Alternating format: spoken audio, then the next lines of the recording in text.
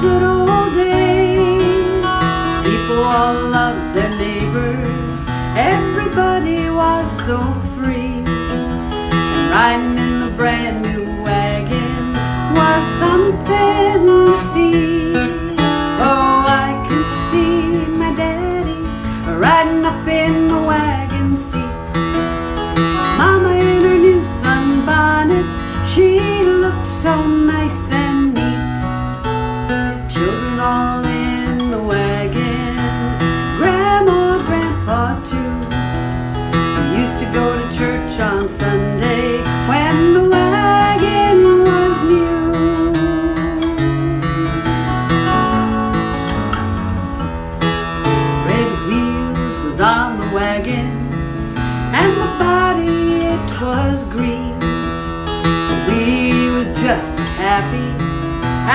riding in a limousine.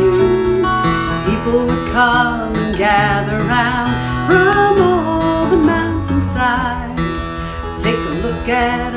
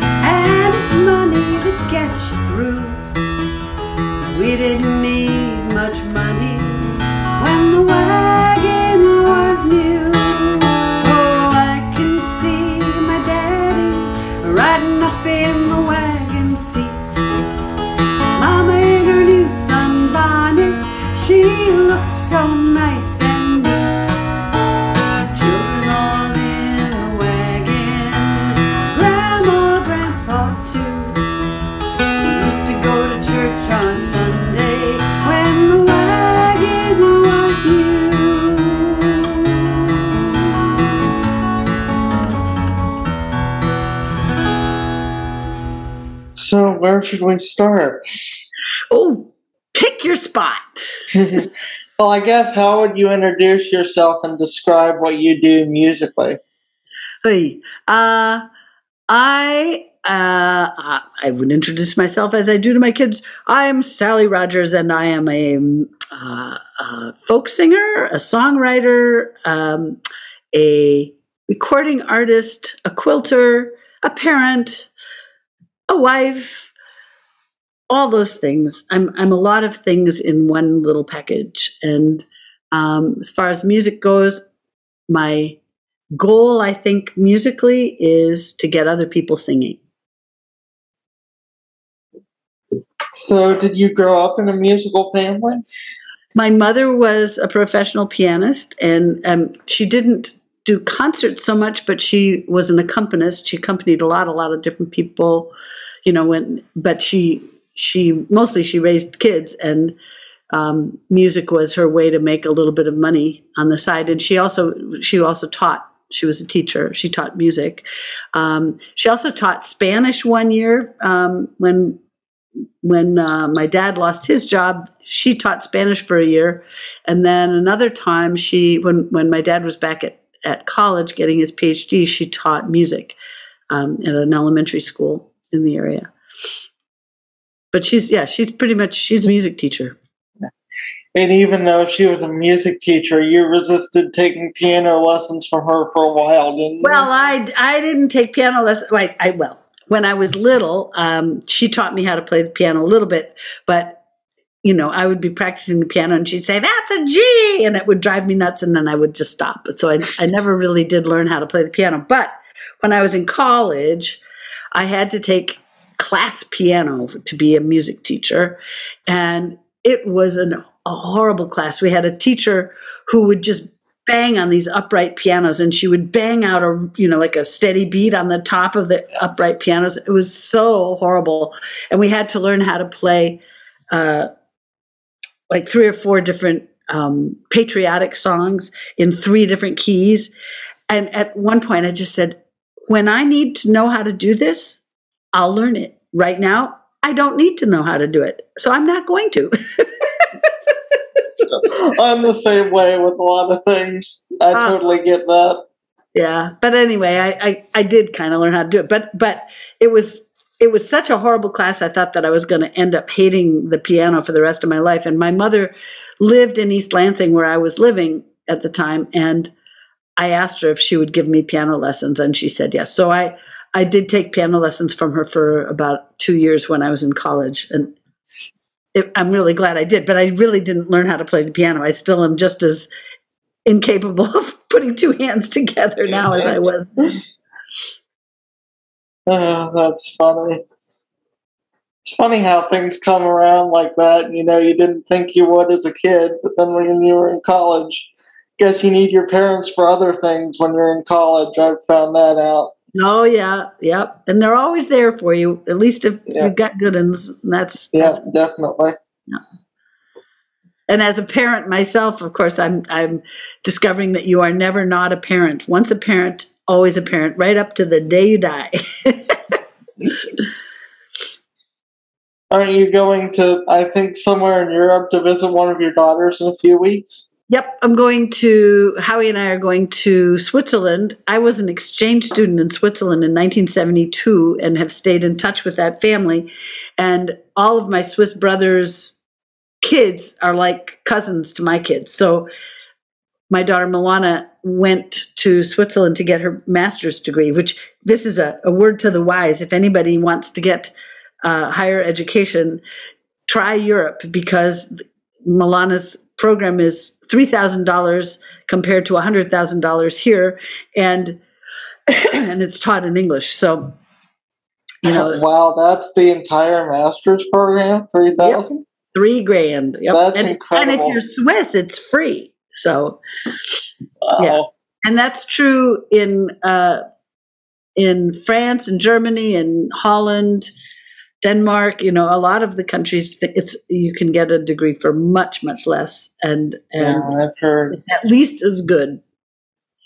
Yeah, it's crazy how expensive college is these days. Ah, totally crazy. It's it's it's really, uh, it, it's it's just not it's not okay. It's really yeah, I'd agree. Actually, you know, yeah. Uh, only people who have money can afford to do it. And and if you you know go the route of borrowing money to do it, you're in debt for the rest of your life. I mean, it costs as much to go to college as it does to buy a house. Um, well, I mean, I always knew I wanted to go to college. I mean, when I was a little girl, I remember these ads that were on TV. First of all, let me explain that. You know, I grew up on a farm, but an unusual farm because my both of my grandparents had been to to college. My grandmother had a master's degree in, in, chemistry, and you know, and she was born in 1887. So, you know, back in the time when, of course, it was very popular for women to go and get a master's degree in chemistry. I think she got her degree in 1910, and um, so so I grew up with the expectation that I would go to college, and I remember as a little kid, there was an ad on TV that said, The gates of college are closing. And it was these huge cast iron gates, you know, and then these two college age kids are walking up with books and they're looking, oh, so sad because it was, it was because it was too expensive to go, you know, and that was in probably 1960. I remember that. I remember those ads on TV. And, uh, so I was always worried that I'd, I'd have to go to Europe or something to go to college. And, and then I thought, well, what would I do then? I don't speak anything but English. I mean, this is the head of a little kid, you know, but I mean, I worried about that stuff when I was little, little, little. And, uh, but anyway, I ended up, of course, going to college uh, after I was an exchange student with AFS um, in Switzerland the next year, which would have been 1973. I came back and I went to the University of Michigan for a year. And when I was in that freshman year, I, I took, uh, you know, linguistics, I took German, I took Portuguese, I took, I don't know, it's a couple of things that I had to take. And, um, and in the process, I took a, a psychology class and learned about music therapy that there was this thing called music therapy. And i thought ooh that would that would be an interesting thing. Because i you know i never thought i could go to music school because i didn't play anything. You know i didn't play piano. I you know all i did was sing and i didn't, hadn't learned to sing. I just did you know? So um so anyway i applied for to get it into the music therapy program at Michigan State and got in and as a voice major. And um, started taking you know voice lessons in in college. And and I I changed my major a bazillion times. I think every 6 months I changed my major but it was always within in music. And um, and I ended up getting you know my music education degree um, in 1978 and didn't teach. Actually, I, I, I, thought I would teach, and I applied for jobs, and I never got them. And I, I, think I applied for four different jobs and didn't get them. And at the time, in 1978, there were very few teaching jobs. It was one of those, you know, teaching goes sort of in this cycle. Right now, they need tons of teachers, but in 78 they weren't really looking for teachers and music was the first thing to get cut out always you know so um, so anyway i uh, i was at the time at that time, I was also working at Elderly Instruments in East Lansing, this wonderful music store, music store heaven, folk music store heaven. And, you know, I was helping to run the 10 pound fiddle coffee house, and I was making bags for dulcimers and selling them and doing all kinds of stuff. And, um, we're, you know, playing in bars in the area and in the coffee houses around Michigan. And Stan Rogers came to perform at the 10 pound fiddle and he heard me sing and he said, You should try out. This was 79. He said, You should try out for the um, festivals in Canada. He said, Because uh, Mitch Podolak, who was the one that hired people at the Winnipeg Festival, he is hosting a women only um, uh, tryout for for the festival because they're very short on women performers. And so I said, okay. He said, he said, you've got to go. He, he basically said, you've got to go. You must go. You have to go. I mean, I bought a car so I could go. I, I didn't even own a car. I bought a 1967 Buick Invicta and this huge vehicle. And, um, and I drove to Toronto and did this, um, uh, this tryout, this audition. And that's, well, I, I didn't meet Cathy Fink there. I met Cathy through 10 pound fiddle and and I suppose other things too, but mostly 10 pound fiddle, I think. And then, and then met her at this audition, Cathy Fink. You wouldn't believe, I mean, it was Cathy Fink with me. It was, uh, Connie Kaldor, um, Ferron, um, oh gosh, Jane, oh, what's her last name? Uh, my mind just went blank. But anyway, a bunch of the Canadian women, Heather Bishop was there, a um, bunch of Canadian women and and a couple of us Americans, and it was the group of women that all they all got hired at these festivals, and and for the next ten years, that was sort of my cohort. Those were the women that I saw at festivals when I would play, you know, and uh, got to know them. And, and Cathy and I got to be pretty good friends, you know. And and Marcy, well, Marcy, her her sweetie Marcy was my roommate. Well, actually, she wasn't quite my roommate. She after I moved out of my house, Marcy moved in, and my mother was the landlady. So you know, and Marcy and I worked at Elderly Instruments together. So I was going to ask you if you two worked together there because I yeah. thought she was there around the same time. Yeah, exactly. So that's you know, I know Marcy from from Michigan from back in those days. Yeah. Well, I'm going to stay in this tuning and um, while I've got you here, if any of you are learning the banjo or wanting to learn the banjo, I, I will have to share a secret with you that I learned from Glenn Bemis, who was a motorcycle mechanic back in East Lansing, Michigan. And when I was first learning to play the banjo uh, while working at, at uh, Elderly Instruments there, uh, Glenn gave me this hint. He said, if you take a spark plug and you put it in your right hand, and you hold that spark plug, the only thing you can do with that hand is claw hammer banjo. Because in this style of banjo, you play with the back of your fingernails. You don't you don't pluck it like bluegrass. you play down. It's a downstroke, and it comes straight from Africa. When I was in Senegal, I heard several musicians playing um, a different kind of instrument, but playing exactly the same way with that, that downstroke and with a uh, drone that was plucked by the thumb. So anyway, that's what you do. You put a, uh, uh, a spark plug in your hand, and then that's all you can do is, is uh, play the banjo. And um, this song. Well, wait a minute. Gotta fix this.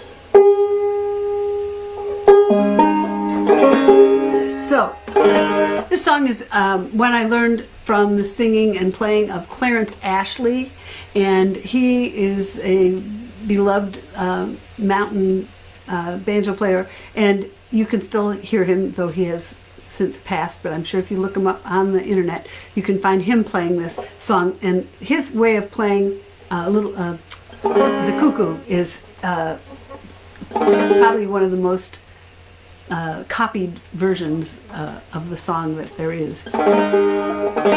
So here is the cuckoo.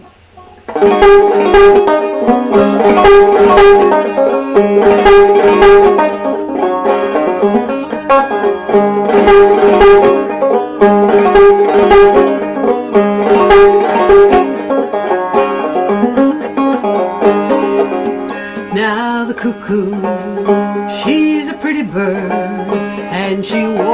as she flies, and she never hollers cuckoo till the first day of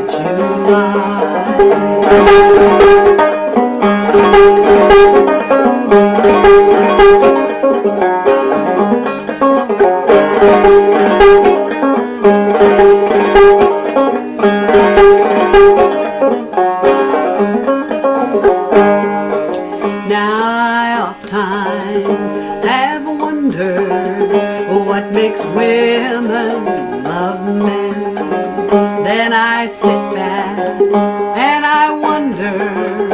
what makes men love them. Now I've played cards in England and I've played cards in Maine, and I'll bet you my last dollar that I'll beat you my next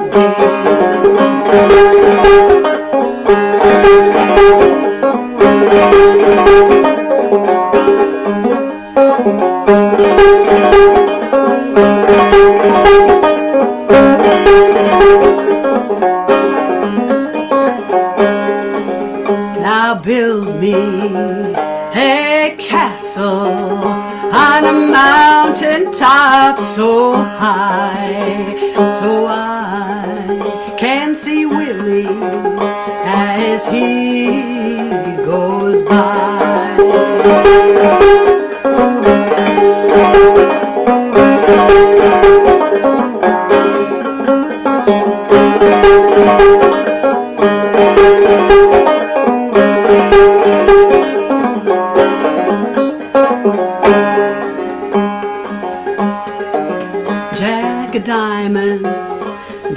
Jack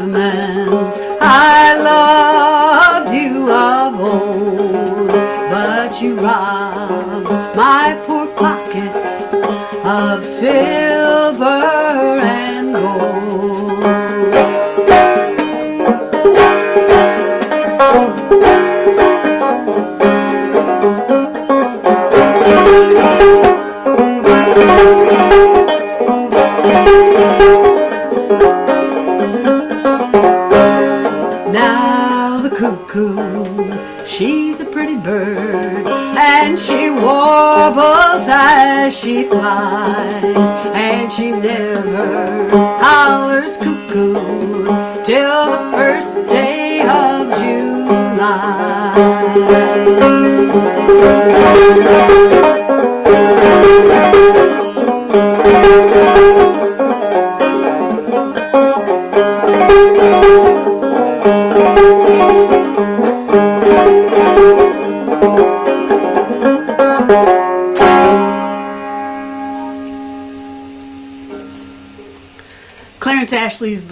more or less. so how did you meet Howie?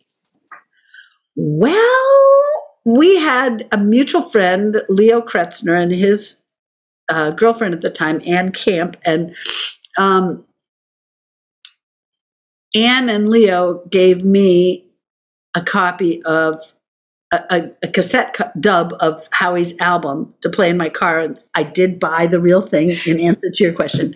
I did buy it when I got home, but um, I listened to that for like six months, and they gave well they they showed him my album cover. He never owned my album. He just liked the picture on the front cover. And so, anyway, he, uh, I, I listened to his album for about six months. I had it pretty much memorized, and I played at a coffee house in Greenwich Village uh, on uh, Washington Park. It, it, it, it was the same coffee house that that, or the same building that housed the People's Voice Coffee House, which I had also played at, but it was it also housed another one, and I can't remember the name of that coffee house. Maybe somebody will come up with it. But anyway, that's where I was playing that night, and Howie showed up in the middle of the gig, and I saw him, and I, I recognized him immediately, and I started singing him one of the songs from his album, and uh, and the next weekend we were playing at a festival together by the way, he didn't stay for the rest of the concert. He had to leave because he still had to drive back to where was he living? Oh, he was living here in Pomfret, and uh, which is really wild because Pomfret. I've all my life I knew about Pomfret, Connecticut, because my dad went his senior year to the Pomfret School, the private school here in town. So growing up, we always knew about Pomfret. Every Christmas, he would put on his Pomfret High School stocking cap to go out and cut a Christmas tree. And, you know, so we knew about Pomfret all my life. And so the first time I came out east, I drove through Pomfret. I couldn't believe it, you know. wow, Pomfret, it really exists, you know. And then come to find out Howie lives in Pomfret. Not only does he live here, but he's making wine here. And uh, he's actually made wine at two wineries here in Pomfret. Um, first one closed, and then now he's at Sharpe Hill. So, yeah. I was wondering how you ended up in Connecticut coming from Michigan, so that makes sense. Yep, yeah, he was working here and still is. We've lived here now since 1982. I never thought I'd be in one place that long because my prior life I had moved and moved and moved almost every year. So, yeah, you moved around a lot as a kid, didn't you? Yep, I was at six schools for six years, mainly because my dad went back to school. Oh.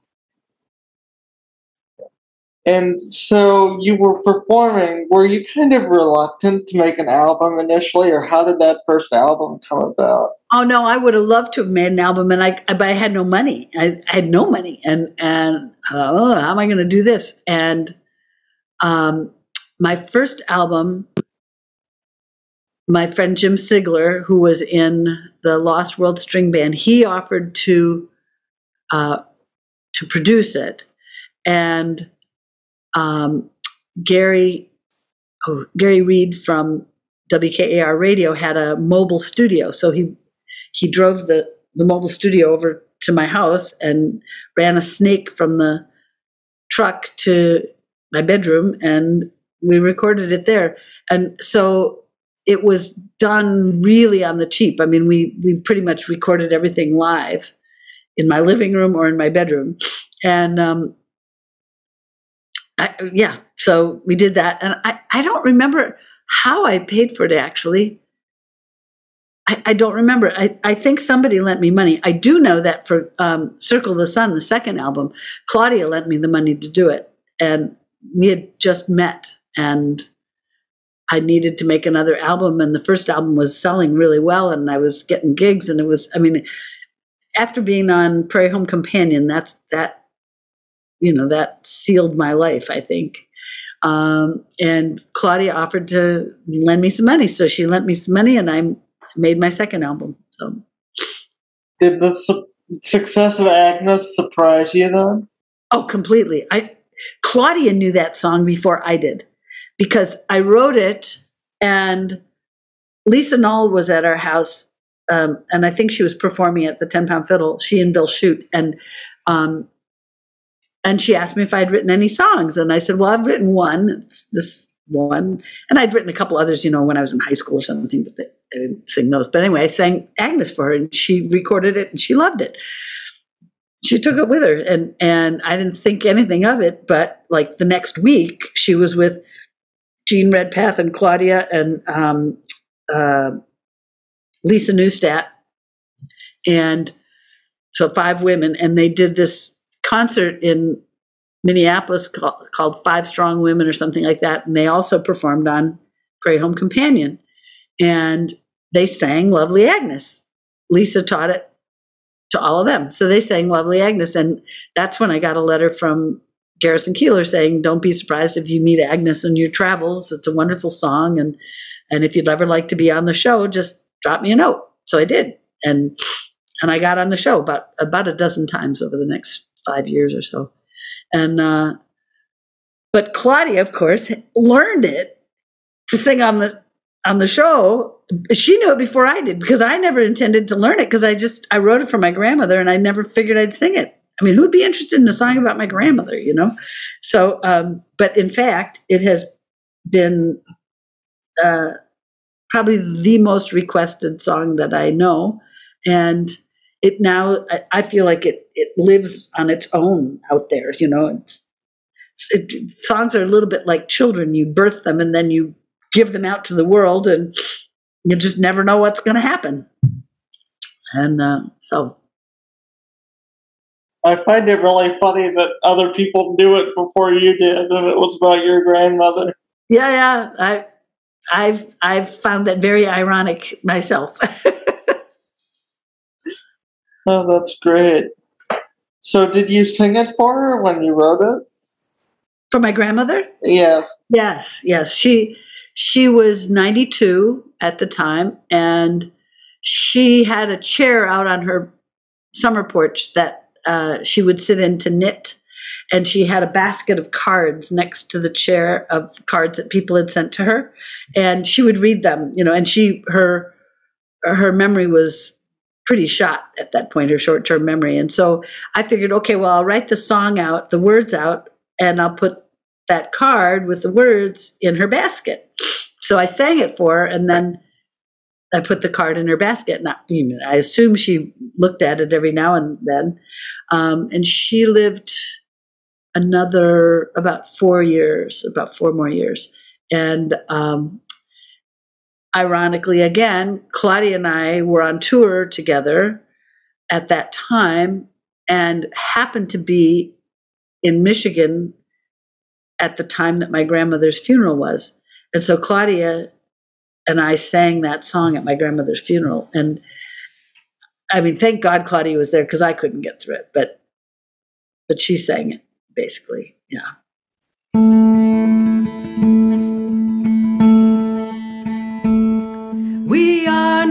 Not the first, and we won't be the last. For the threads wound too tight to unravel. If we stare in the mirror and never look back, we won't see the roads we have traveled. Generations, like a rock beneath the waters, generations, more and more. Generations, from our mothers to our daughters, break and blend like the waves on the shore. The sound of the blood running fast through our veins is louder than any word spoken.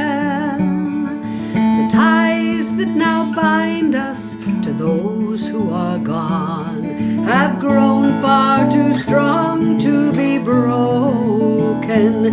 Generations, like a rock beneath the waters, generations, more and more. Generations, from our mothers to our daughters, break and blend the on the shore. Our grandmother's stories will still keep the faith when grandchildren gather together. The songs of our mothers that rocked us to sleep will sing to our children forever.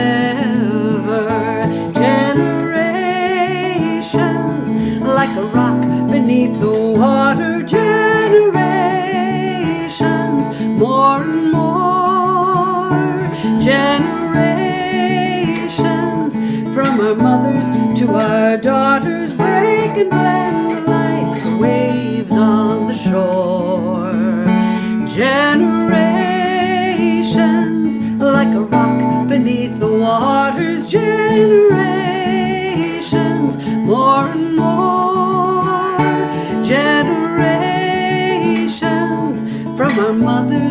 Our daughters break and blend like waves on the shore.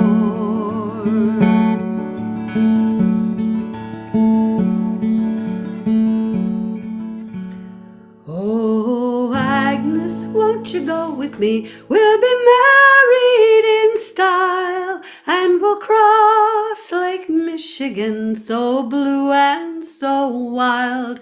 We'll cross over Lake Michigan till we come to the shore and our orchards will blossom for our as they're born. Oh, yes, I will go with you, leave Wisconsin behind. Though my parents think little of my life on a farm. Oh, to leave the gay city life to be buried on a farm. But I'll watch the orchards bloom in spring, spend the winters warm in your arms. Try it. Oh, Agnes, won't you go with me? We'll be married in style and we'll cross Lake Michigan, so blue and so wild. We'll cross over Lake Michigan till we come to the shore and our orchards will blossom for our babies as they're born. Three children he gave her, Curtis, Addie, and Dee. And their fourth child, little Gussie, came ten years after these. And she raised them with a loving hand and with firmness of mind. And she raised them through troubled times, Agnes strong-willed and kind. Oh, Agnes, won't you go with me? We'll be married in style and we'll cross Lake Michigan, so blue and so wild. We'll cross over Lake Michigan till we come to the shore and our orchards will blossom for our babies as they're born.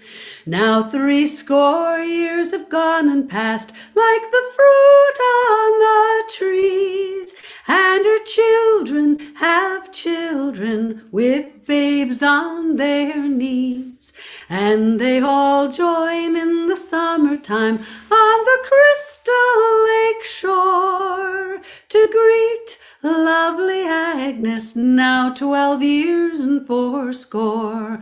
Oh, Agnes, won't you go with me? We'll be married in style, and we'll cross Lake Michigan, so blue and so wild. We'll cross over Lake Michigan till we come to the shore, and our orchards will blossom for our babies as they're born. Is the is it more challenging for you to perform for adults or for kids? It's just different. It's just different. I I think I do more more in-depth preparation for kids because I don't do it as often as I do for adults these days and so I want to make sure I have songs that'll work with them and songs that fit together. Um, and adults tend to be very forgiving in a lot of ways, you know, whereas kids, you know, if they're unhappy, they'll let you know right away. Yeah. so, but I, I love performing. I like performing for both. I mean, it's it's just different. Kids are fun because you never know what's going to happen. You know. Yeah, you guys had a bit of an unexpected thing on, I guess, Saturday when Howie broke that banjo string. Uh, you know, and he had said before we left the house, he said, I'd better bring another banjo with me because what if I break a string? And, you know, I mean, it's not like he breaks a string all the time, Yeah. but he, you know, that time he brought it up and he did bring the extra banjo. So it turned out to be really good. And, uh, his, his eyesight is not good. So to change a string is like a really big deal. It's, it takes a long time for him to get a string changed. I'm here to tell you, I think, I think, you know, streamed concerts are here to stay. Um, not all of all of them, but I think there we will continue to see concerts that are maybe live and streamed, like the old songs one was. yeah. I mean, there were at the old songs concert there were about twenty people in the room, and there were ninety people streaming. So- Yeah, I love being able to catch stream concerts because I don't drive and it's kind of hard for me to go to gigs as much as I'd want to. But throughout Yeah. COVID, I've seen more performances than I've ever seen before. I'll bet. You know, and, and you're not the only one. I mean, there's a lot of senior citizens who don't want to drive anymore. And that's, you know, that's our bread and butter. Those people Yeah. are our fans from way back. And now they're not driving at night, particularly. And, and yet, you know, they could watch on Zoom or on whatever, you know, any kind of streamed thing. And I think the stream concerts are a good thing. Yeah. I, I, I don't, it's not my preference, but it's definitely a, a good option to have. And actually, I mean, when I think about it, I'm I'm sort of at the point where I, I don't really love driving all over the place for gigs.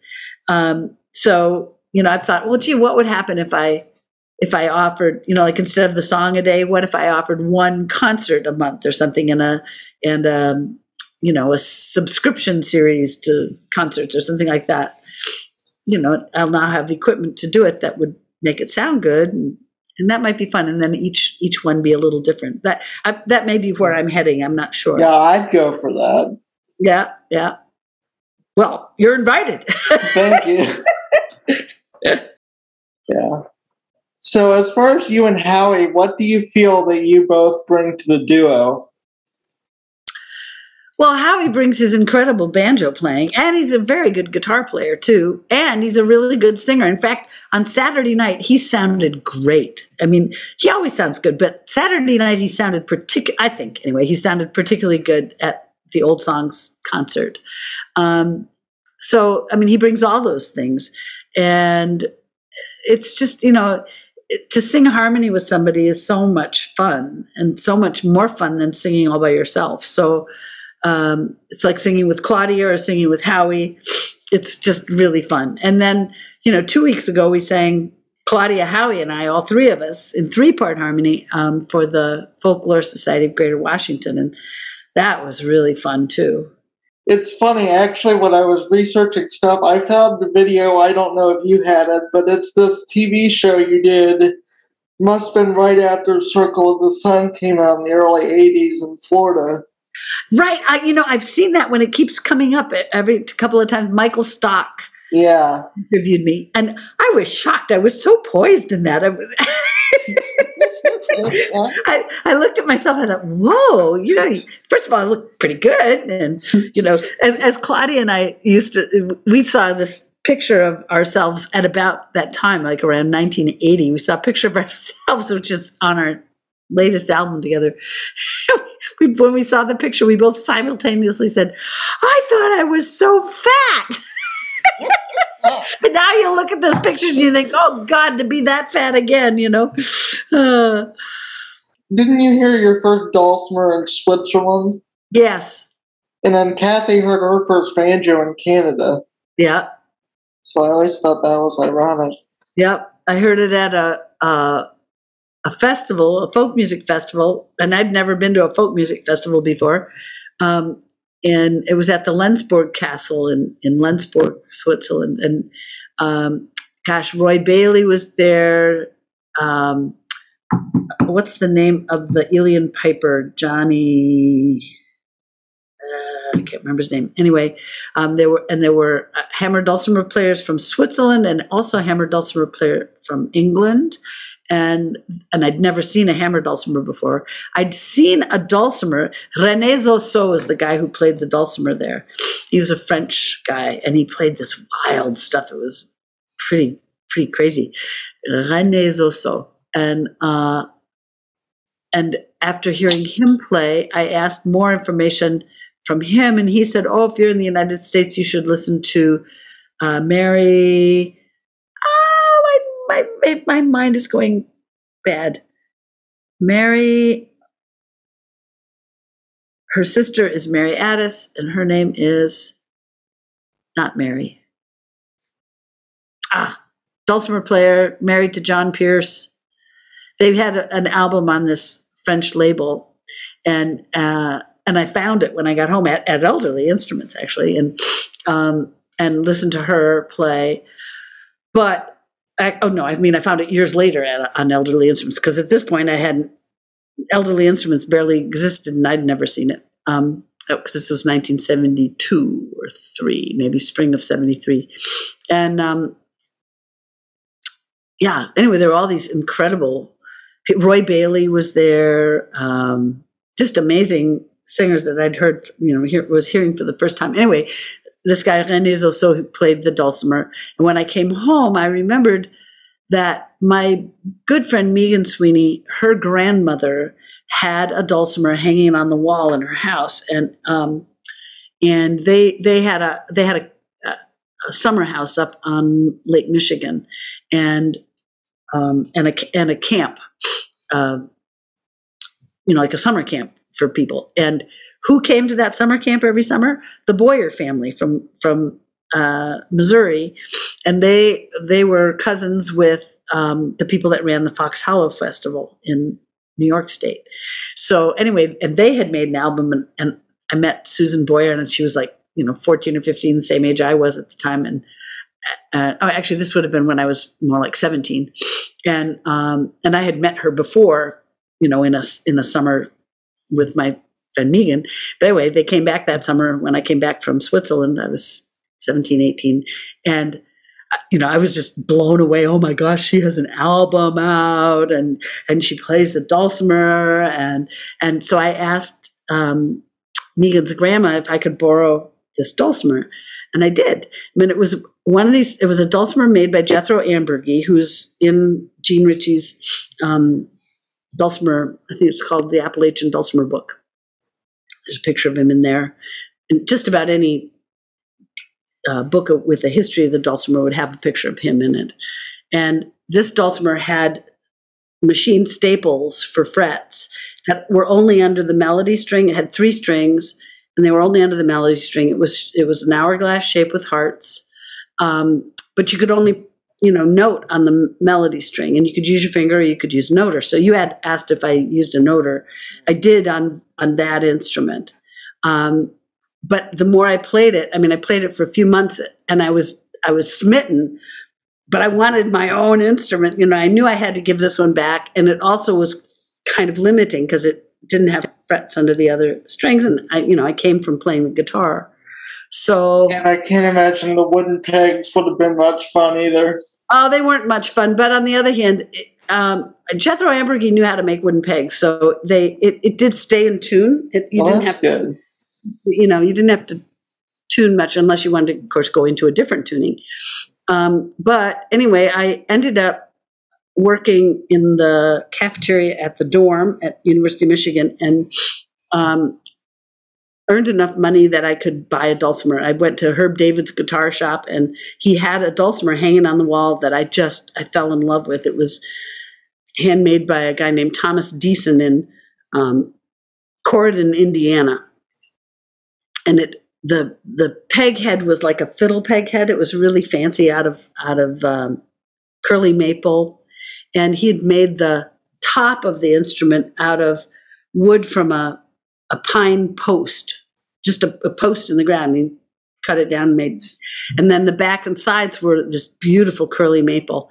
And the, the dulcimer had three strings, and I had Herb put in an extra fret, six and a half fret, and I started playing it. And then, you know, I loved this instrument, and I, it only, like I say, it only had three strings.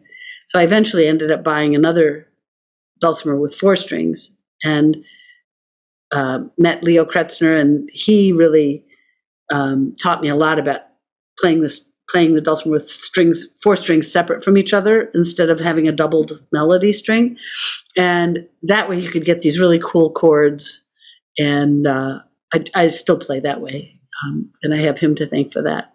I've taught at common ground on the hill um, down in uh, maryland but of course that's been about three years. But actually the first year of covid when common ground went virtual, I taught a virtual beginning dulcimer class. And I forget, I think I'm teaching a beginning dulcimer class for them again, July 4 through, um, yes, July 4th through July 10th um, for Common Ground on the Hill. And that'll be online. Um, and I'm doing beginning dulcimer for them and also an arts integration for teachers class. And that's a week long class. Every day is an hour and a half. So, how have your, I guess, what was I going to say? So, you're very passionate about trying to integrate arts into the general curriculum. How's that generally received, and how did you start doing that, and how's it gone? Well, I personally have been doing it for a long time. I mean, um, when my kids were little, I started volunteering at our local school, and we started a, a cultural arts program where every year the school studied, as a school, we studied one country at a time and we integrated the arts into that. We studied art and music and dance of the culture, and then, of course, social studies, geography, blah, blah, blah. Um, and so that was part of it. And then I got my degree, my master's degree in um, creative arts and learning, which was all about arts integration. Um, and I work as a teaching artist through the Connecticut Office of the Arts, and they also have a program called the HOT Schools, which stands for Higher Order Thinking, which is basically arts integration. And so I, I do professional development for teachers on how to make this happen. The idea being that the arts are just as important as everything else. I mean, STEAM and STEM, you know, STEM is science, technology, elect, uh, engineering, and math, and you add the A for arts, STEAM. And um, because the arts use that part of the brain, the same part of the brain that does math and science does music and, and art, that creative part. And um, many, many children think that way, even if they're not, quote, artists, you know, their brains work in that way. And when you when you integrate the arts by making the art the art form itself as important as anything else, you multiply the the ability of a child to learn tremendously. So that's why I love it, and um, and I'm passionate about it, and I'm pretty good at doing it. Welcome everybody. Today, 381 of A Song a Day Keeps the Virus Away, and I am Sally Rogers, back from another school gig today, and uh, today we wrote a couple of verses and a chorus to a song that had to discuss the regions of the United States, the five regions of the United States, and it had to use idioms, idiomatic language. Whew, so we got that far, and we're going to also have to compare US culture to German culture, all in fourth grade. And we're almost there. So, here's today's song. In the name of all of our children, which I wrote for Nona Beamer from Hawaii.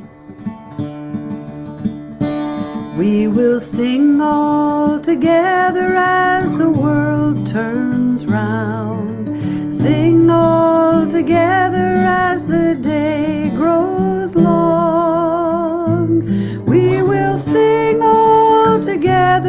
growing wise and strong in the name of all of our children.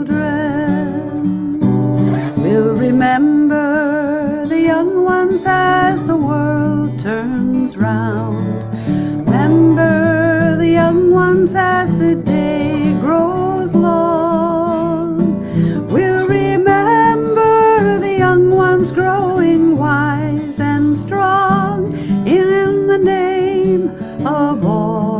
our children.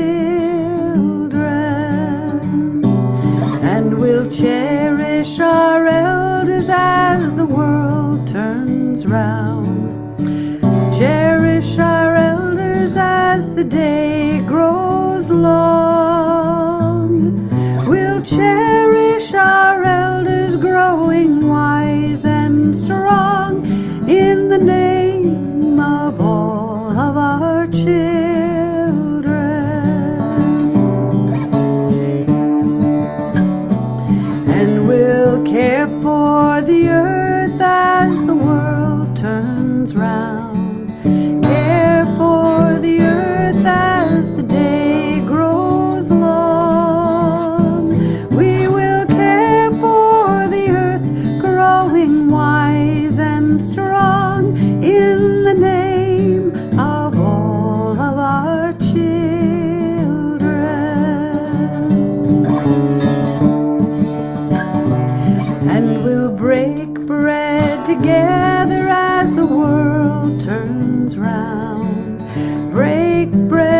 together as the day grows long.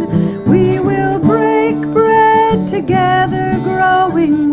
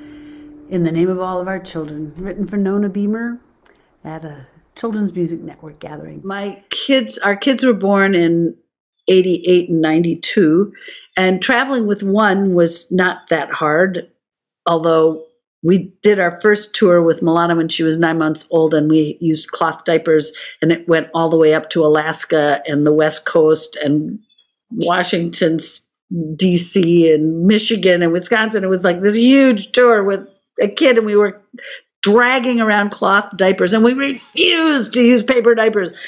And we knew every laundromat along the way you know? It's like later on we knew every bathroom along the way but at that point we knew every laundromat around along the way. Ugh, that was exhausting. Um, and then then once we got a, a second child once we had a second child it was much harder to travel as a family. I mean either we would travel as a family all four of us and Howie and I would sing together, or I would go off and sing and then come back. But I limited my away time to long weekends pretty much. Um, and then in 2001, I, I always said, you know, I would love to teach in a public school, but it would have to be, you know. And in 2001, our local public school, which is was at the time just a wonderful, wonderful school. Um, we had a great principal. She called me in her office and she said, uh, "Just wondering if you, by any chance, would be interested in teaching music here because we- we are uh, adding a position." And I said, "Well, here's what I need." I said, "I need." I need to work only four days a week with Fridays off so that I can tour. I said, I need to have my own classroom. I need to see the kids at least twice a week. Um, and what else did I say? Well, I needed my own room and I needed uh, a set of Orff Schulwerk marimbas and percussion instruments and stuff. And she said, okay. I mean, it was just like that. She said, okay. I said, okay, well then, I guess I've got a job. so uh, suddenly I was teaching, and it, on the one hand, it was great. I mean, I, I loved I loved working with this principal because she and I really gelled. And while I was working with her, we ended up applying for a hot school grant, the, the organization I was telling you about, the higher order thinking program, and were accepted into it. So our teachers all got training as part of this grant. It was like a $150,000 grant to, they all got training in arts integration. And so there was that. And then we also wrote a grant to be part of a state funded um, exchange between a school in Shandong province in China and our school um, through the Depart- the social Stud- studies department at the State Department of Education. So we were part of a, a delegation that went to China, and I mean, who does that? You know, it's like that was great. So we went there. Um, we did that, and I'm trying to think. We did other cool stuff. I, oh, I started a sound garden outside my room, and we continued the cultural arts program. You know, studying different countries. I started having um, a song a day, actually, in the hallway of the school. We would start every day by the kids would just walk out of their classroom. We'd sing a song, and they'd go back in their classroom and start their day. And that was fun.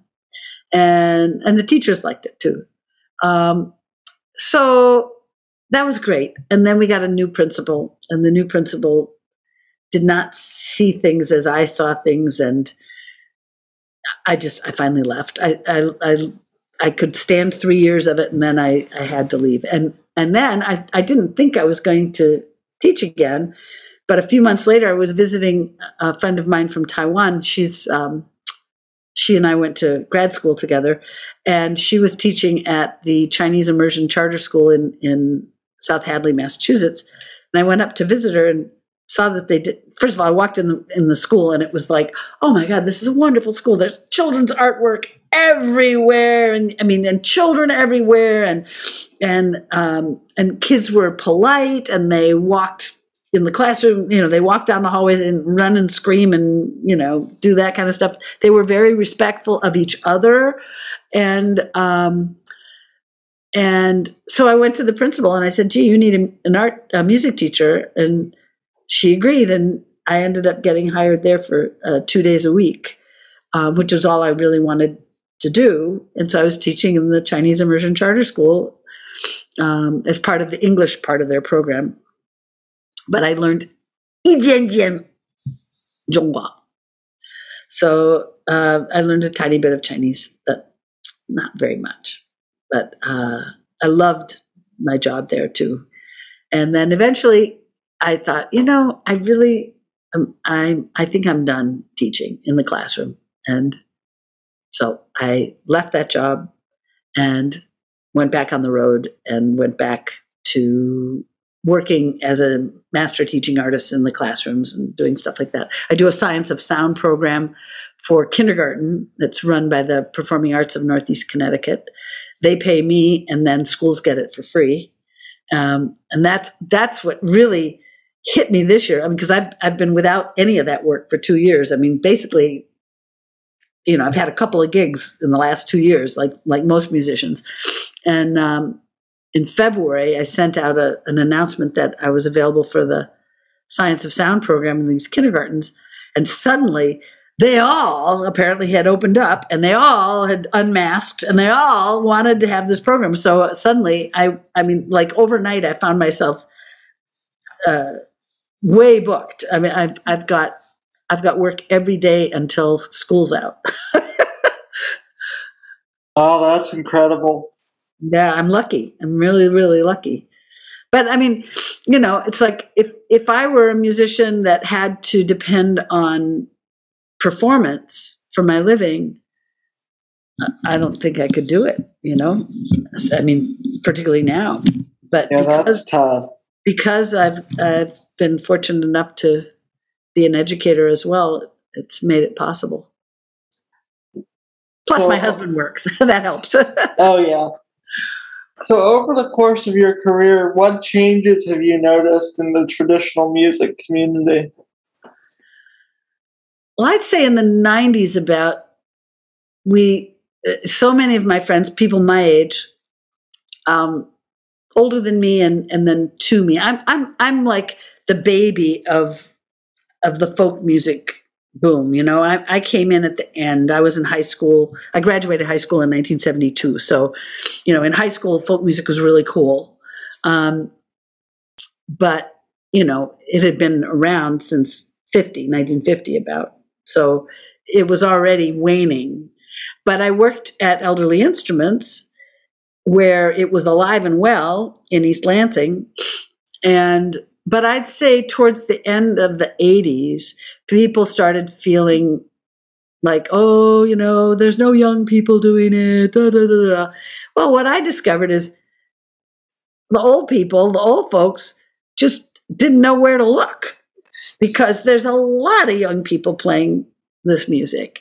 Um, I doubt it's as many as there were in the folk scare because, I mean, that during that time, you know, it was the popular music. It was on the radio all the time. And now you don't have radio even really. You, you know, you have some, some algorithm chooses what music you're going to listen to on Spotify or something, you know. Um, so it's, it's, it's a very different, people listen to music in a very different way than they did. I mean, it used to be you'd get an album, you'd put it on the record player, and you'd sit and you'd listen to it, you know, or you, you maybe you'd make bread while you're doing it, or bake or cook or something. But for the most part, you listen to it, and when the what side A was done, you'd stop, you'd go over, you'd flip it over, and you'd listen to side B, you know, and you might do it a bunch of times. And if you wanted to learn a song, you had to carefully move the little needle over and not scratch the record and so forth. So, I mean, that I, I think the the medium has changed, the technology has changed drastically um, for for the better and for the worse. And we went through a period where it was like, like how do I learn new songs? I can't, you know, there's the cassette player doesn't work anymore, and I can't buy a new one because they don't make them anymore. And uh, you know, then there, there were those little CDs. What did they call those? Mini discs. Yeah, mini discs. Yeah, you could get a mini disc player, but you know, it's like with when CDs came in, you couldn't record onto a CD. So until they got that mini disc thing, and then and then you know there were other things like the the digital voice recorders, but th- there was nothing as as easy as a cassette deck, you know, to or just a little cassette player, you know, to to record on. Until now with the phone, the phone has now made it easy again. I, th- I think we we're coming around to a time where people can learn things from each other quickly and easily. I mean, you can pass stuff around so quickly and easily. I, I, look at um, the Vox Hunters, uh, Benedict and Armand. The two of them are both great song finders. And what what do they do? They go online. You can listen to all of the Helen Harkness Flanders collection. You can listen to everything that Alan Lomax ever collected. I believe you can also listen to anything that John Lomax collected. You can listen to everything that the Warners collected. You can listen to the actual tapes. And when I was coming up, if you wanted to listen to those tapes, you had to go to the Library of Congress, you know? Um, and I mean physically to the Library of Congress, and then you'd have to make an appointment, and you'd have to, you know, have somebody in there with you because the tapes were so fragile. Um, but now anybody can just listen to it anytime. It's phenomenal. You know, it's so incredible. So, so I think now more than ever, you have the potential to access anything from the last 150 years, you know, that's been recorded. Anything that's been recorded, you, you can find. Yeah, it's almost overwhelming to have access to so much information. Yeah, it's not a matter of, of of having it. It's a matter of knowing what where to look and what you're and what you're looking for. Um, and I, I've not I'm not real good at doing that, but boy, Benedict and Armand are. And and I'm I think one thing and and my our friend Jeff Davis, who's a fabulous fiddler and singer and banjo player, um, he also is really good at finding songs. Lisa Null also really good at finding songs, and um, and I think one of the things that they do is they'll go through books, you know, the the the written collections, and they'll find a song that interests them, and then maybe they'll go find the recording of it, and and then listen to the original recording, uh, which sometimes is helpful and sometimes not, because sometimes the recordings are not very good. You know, I mean, the the quality is never real good if the, if it's you know from the 40s and the 30s, but um, but you can listen to everything. It's just it's amazing. It's amazing what people have access to now. So occasionally people are kind of reluctant to sing and play in public. What do you say to people in that situation? Well, I don't think everybody has to sing and play in public, for one. Um, plenty of people love to sing and play just by themselves, and they get great enjoyment out of doing that. And more power to them. I think that that's that's super important. We all are born with the ability to sing. I have no doubt about that unless you have some physical disability that that prevents your vocal cords from working, you can sing. And so, uh, anybody who tells me that, oh, I can't sing, I just immediately tell them, I'm sorry, someone lied to you along the way. And you know, they know the moment that they learned that they couldn't sing. They remember who said it to them, when they said it, and they remember the day they stopped singing. So and I encourage people to sing primarily because you don't need anything. You can take your voice with you anywhere you go. You don't, you know, and that's one reason I encourage people to learn learn the words, you know, to memorize stuff. Um, it's good for your brain, number one, and and number two, that means you can carry the, these songs with you wherever you go. You have them. There was one band at a festival that Claudia and I played at, a wonderful um, string band and they were all students from Berea College. They'd all gone to Berea College, you know, and studied traditional music. And they were all using iPads for their for their lyrics. And I thought, no, no, no, no, no. no, no, no, no, no, you don't do that. You learn the song. You learn the song so that you have complete ownership of it and that you get to present your version of it, you know. But oh well, I guess I'm I'm an old fashioned person that way. But and of course, here I say that now, and of course, to, for my song "A Day Keeps the Virus Away," there's no way that I know all those songs. I have I do keep lyrics there, but most of the time when I perform, unless I'm doing some specialty concert with songs that I can only do that, you know, there, I, I bother to memorize the songs. You can rent a song or you can own it.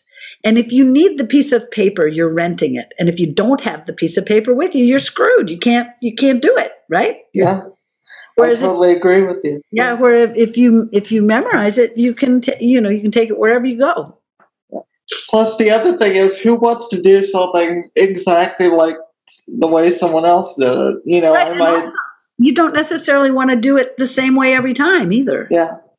I like to put a hammer on some places and, you know, slide places that I don't usually slide, you know, vary things a little bit.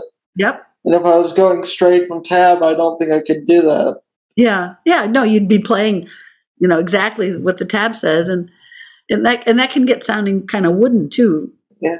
Any best, worst gigs that you can think of? Oh, God. The, uh, the worst gig that I ever remember having, I I'm I'm hesitant to.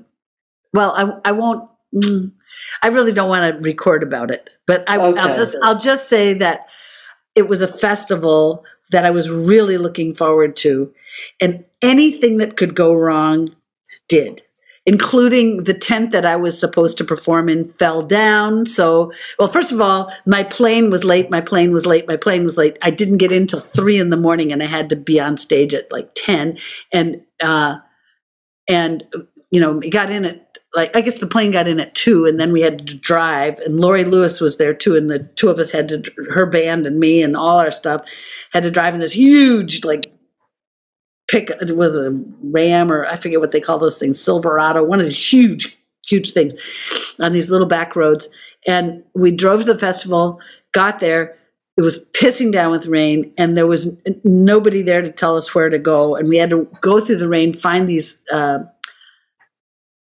what do you call it? Uh, they were barracks that we had stayed in. And so i get into the and, and it was freezing cold. It was june but it was freezing freezing cold and raining and i was wet and so I, I literally put on every piece of clothing that I had to go to sleep. And just as I was trying to go to sleep, the couple in the next room in the barracks, which of course, you know, had paper thin walls, decided that they were going to make love. And they were very passionate about it. And so I couldn't sleep. And then the next day it was so windy. Oh, and, and because I'd gotten the late start, I missed my main stage set. And then, so the next day, they put me on the main stage at dinner time when nobody was there. And i mean nobody everybody was out eating. So there was just nobody there. And then and then in the daytime i was supposed to do a, a workshop um, with fred penner and the tent blew down. So we didn't get to do that. And i was so cold that i spent the little tiny bit of money that i had on uh, a pair of mittens and a hat because I was just freezing. I was shaking. I was so cold. So I got a pair of mittens and a hat. They were beautiful. They were handmade. Um, but I discovered that I was allergic to alpaca wool when I got them. So my hands, I couldn't even wear them. And then uh, I had to, I had to pay duty to take my CDs in. But because I never really got much time on stage, nobody hardly knew I was there, and I didn't sell a single one. But I'd paid, you know, import duty on them. And then I lost my purse. And luckily, I found it before I left. And then the people who were supposed to drive me back to the airport decided that they couldn't and that I would have to drive this behemoth of a truck back by myself, which I, I mean, I'm not a lover of driving to begin with. And a big truck like that, I have no depth perception and I hate driving big vehicles. Anyway, I had to drive it back. So that's that's the short of that, and I don't need to tell you where it was. But um, anyway, yeah, that was a that was an awful one. And oh, and then, but I had just said this was June of 2001. I had just said I'm I'd agreed to teach in the fall. So every time something bad happened, I'm teaching in the fall. I'm teaching in the fall. I'm teaching in the fall. oh, and that the, oh, I just remember the other bad gig. The other bad gig was teaching in the fall. I started teaching in 2001 in August. And my second week of teaching was when the Twin Towers came down. And the principal came to my door and asked me to come out in the hallway. And I thought I'd done something wrong. And she said, A plane just flew into the Twin, into the Pentagon. And I went, What? And then she said, and another one just flew into the Twin Towers in New York. I, I was just like, I remember just feeling, huh? You know, shocked. And I said, so are we at war? And she said, I don't know. I said, well, if we are at war, who are we at war with? And she went, I don't know. And, you know, and, and then it continues on. But oh my God, that was a, that was a really awful couple of days there. Well, a week, a week. My and the only good thing about it was my brother and my mother, my brother and his wife and my mother were flying back from Ireland and had landed in Boston Logan where those planes all took off. They landed there about 12 hours before, no, not even, about 8 hours before those planes took off and they had rented a car and they came to our house from from Boston Logan. And so they were at my house when this happened.